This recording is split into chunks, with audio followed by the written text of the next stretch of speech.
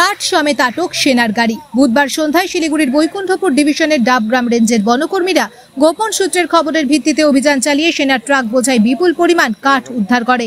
বন সূত্রে খবর, শিলিগুড়ি সংলগ্ন শালুগড়ার সেনা ক্যাম্প থেকে কাঠ বোঝাই গাড়িটি এনজেপি সংলগ্ন এলাকায় কাঠ মিলে নিয়ে যাওয়া হয়।